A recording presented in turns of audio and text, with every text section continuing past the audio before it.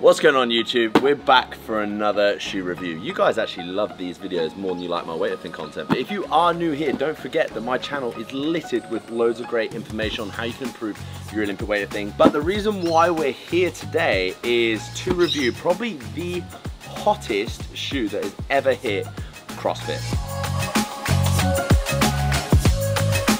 It is known as the Rad 1. Now, I absolutely love this because the guys that developed this company are based from the UK, which is absolutely sick. It probably is one of the key reasons why the quality of this shoe is unreal and why I think they've made such a stir in the CrossFit community of what they've done. They've really brought something that I love about trainers to the CrossFit world, which is hype. Now, I've never seen a shoe in the CrossFit or the fitness space before that is purely based around performance be as hard to get hold of as these things are. Not only that, but they are actually only available to be shopped on in USA and the UK at the moment. So we are here in sunny Australia. I've managed to get a pair of these on the drop that they did with the WOD Life, which was the first time they've ever released them in Australia, um, which I was so grateful for. But other than that, the other pair that I do have that is still on the way, I had to purchase in the UK and then get them shipped over here so I can have them in Australia. So basically what Rad do is every single month, I think they drop a new colorway of the shoe. And once the colorway of the shoe is gone, it's gone. I think this is probably one of the coolest ones that people would have liked because for all our plain Jane's basic bitches, the triple black is where it's at, okay? So first impressions of this shoe. Now I've worn these a lot, so don't think that they come looking this worn. I wanted to really give these an absolute blast before I did the review for you. But these shoes from an appearance point of view, the look, the style, I absolutely love. But when we were talking about Rad at the gym, just trying to get other people's opinions on it, a lot of guys really like the look of this shoe and a lot of the girls at the gym were like, nah, don't like the look of these. But for me, incredible. So much so that for me, since I've had these shoes, which is about three or four months now, it is the only shoe that I've pretty much worn. And I think that goes to say something because at the end of the day, Rad have not paid me to do this video. I like to do all of my shoe review videos from the heart so you guys get a genuine opinion of what I think. So you'll notice how it's got a really nice breathable panel here in the middle. That's nice. It's good when you're training in them, sweating, your feet don't get too sticky or wet um, when you're in them. It also has this like suede detailing around the shoe, which I think gives it that kind of feel and look of luxury, which is cool.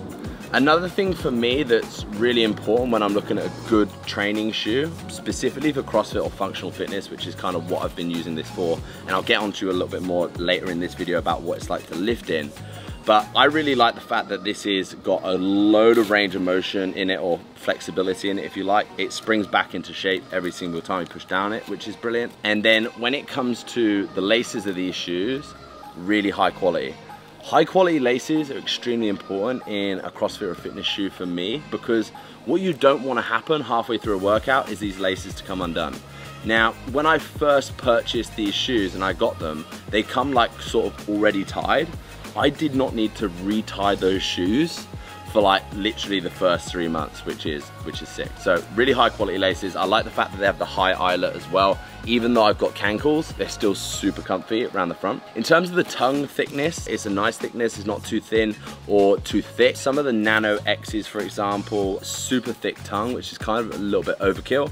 And then for some of the Nikes, super thin tongue and that rips super easy. In terms of the sole, super grippy sole. I would say in terms of wearing this shoe, it is absolutely incredibly comfortable and the sole's great, but I would say it is a tiny little bit too soft to train in. Reason why I say that is because when I've lifted in this shoe in particular, I feel it being a little bit spongy when I'm squatting in it or when I'm lifting heavy, anything upwards of 150 kilos, which isn't going to be an issue for a lot of people but for me that is and it did feel a little bit spongy in the sole but I think for what you lose in stability it makes up tenfold in comfort. So next up, I want to talk about the heel height. I know that's something that a lot of people want to discuss when it comes to a shoe that potentially you're going to be lifting in. There's very minimal heel in these shoes at all. It's nothing that you would say is noticeable when you're squatting and lifting. So I would not put this shoe on if you're thinking, oh, I want these because they're gonna help elevate my heel to make my mobility better. No, you need to do the mobility manual if that's what you're looking for. The other thing when it comes to heel that a lot of people look for, and a lot of shoes have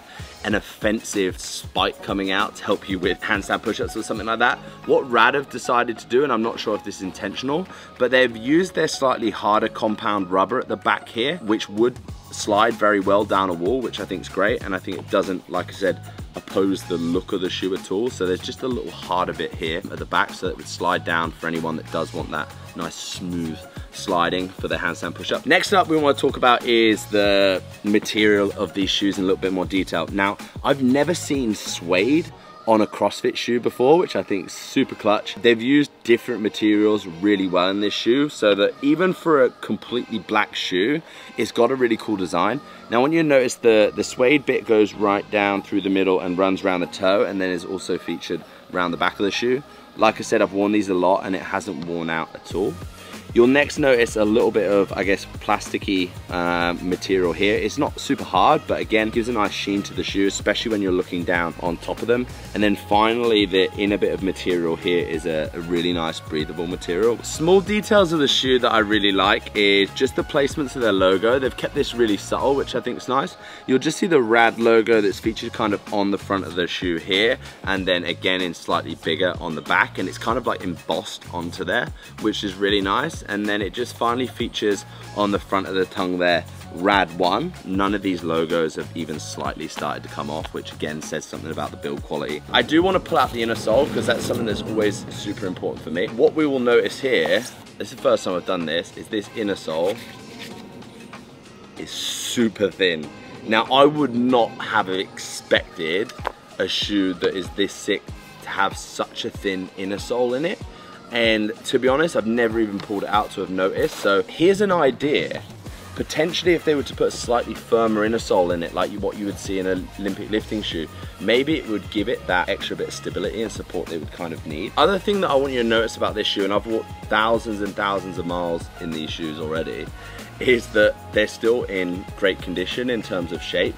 The only thing that I would say that I noticed, and this could be because I went half a size down or not, but if you look closely on the inside of these shoes, and they're only, like I said, four, three or four months old, I've actually started to wear through the back of them. I think it's good for people to know that, that these will eventually wear out, but they're such a great shoe that I've literally worn them every day and would buy another pair. So I don't know if that was tactical from Rad to make you go and buy another pair, but they are starting to wear through a little bit in the back in, in that thin material. Coming on a little bit more into what these shoes were like to lift in. Initially, the first session I did with these was, when it came to lifting, was squatting. When I was in my squatting stance with these shoes, when I was hitting kind of the bottom position, they kind of felt, like I said, spongy in the heel. But I have done power cleans and power snatches and stuff in them, and they're absolutely fine for a lighter weight, but I would not say that these shoes are the shoes that you'd wear if you're doing sub-maximal squat and you like squatting in flat shoes, or you're going for a max snatch or clean and jerk.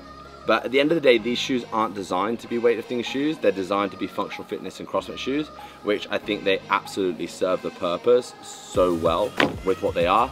In terms of the weight of these shoes, I'd say they're pretty lightweight, but not like featherweight. They still feel extremely high quality in the hand, but they're not overly heavy at all. The one thing I'd notice about the inside of these shoes, and I'm not a CrossFitter, but uh, so I'm definitely not doing any rope climbs. The inside of these shoes on a lot of other CrossFit shoes would have had a much higher rubber paneling here for rope climbs. This is a much narrower section. I'm not sure if that affects the performance on the rope climb or not, but either way it is still shaped on the inside edges probably to help with that. For me, like I said, I'd much rather it look like this and not have a huge rubber panel on the inside, even if it did affect the performance. I'm just a massive fan of these and they probably will be the only shoe that I will wear now when it comes to doing any of my functional fitness training, whether that be a WOD, an EMOM, or any light lifting.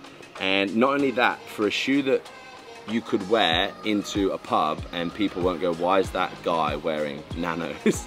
you could definitely wear these out as a, as a cool trainer, start up some fashion wear and it looked absolutely sick. So I think on that side of things, again, they've nailed it Final thing, the hype. Again, I just want to reiterate what the brand is doing that's so cool is the fact that these shoes, once they make a pair, you can't get another another pair in that colorway, which is great. I love having things that are hard to get hold of or a little bit more exclusive, and I really think that helps people buy into the brand. I think the people that they've got on board with Rad as well in terms of their athletes are also really cool athletes with great personalities like DBE, like I'm not even a, a, massive CrossFit frother, but she seems like a super cool person. I'd love to see these shoes continue to be developed and more colorways come of them. Potentially a waterproof version of them would be cool too, because this suede potentially won't last if you're wearing in the rain. But other than that, you've absolutely nailed it. Maybe rad, next step for you guys would be to produce a weightlifting shoe because I definitely think you've got the tech and the brand and the coolness to, to go ahead and do that. The Romaleos 2, which everyone loves. If you haven't seen my review of the Romaleos 2 or the Romaleos 4 even, go and check that out on my YouTube channel.